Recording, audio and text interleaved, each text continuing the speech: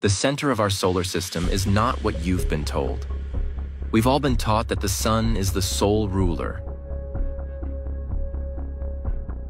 But the truth is more complicated than we imagine. In reality, the sun doesn't sit perfectly still as we so often think. In fact, the entire solar system, every planet, moon, and even the sun itself revolves around a common center of mass. This center of mass, this point of balance, is known as the barycenter. And it's not fixed at the center of the sun. The truth is darker, more unsettling. The sun, immense as it is, doesn't dominate the solar system in the way we imagine.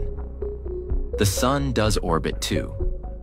It orbits around a small, shifting point, this barycenter, caused by the gravitational pull of the planets themselves. The largest planet, Jupiter, has the most significant influence, and its immense gravity pulls the sun ever so slightly from its place, sending it into a slow, subtle dance. The Earth and its moon, bound by forces far greater than we care to understand, also rotate around a common center of mass. It's not Earth at the center, nor the Moon. The barycenter of the Earth-Moon system lies just beneath Earth's surface. A point, not visible, not tangible, but real. So even our most intimate relationship between Earth and Moon is not as simple as we once thought. They move together, around this hidden point, forever locked in a delicate, unseen balance. It's a humbling truth the universe doesn't operate on the axis of our expectations. We are not the center, not the sun.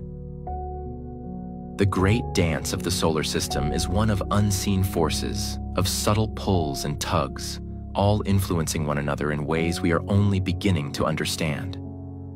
The barycenter, this quiet point of balance, moves with the rhythms of the planets, the stars, and the gravity that binds it all.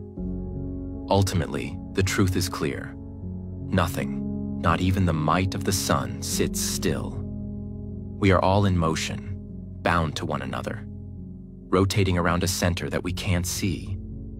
A dark, silent force that guides us all, whether we know it or not.